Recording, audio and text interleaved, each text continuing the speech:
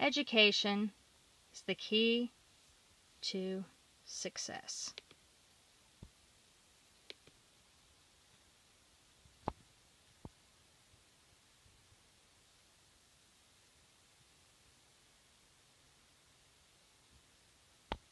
Graduation from high school. Graduation from basic training. Graduation from AIT. Graduation from CA, CNA school. Graduation with my associate degree from FTCC. Graduation from concealed carry handgun training.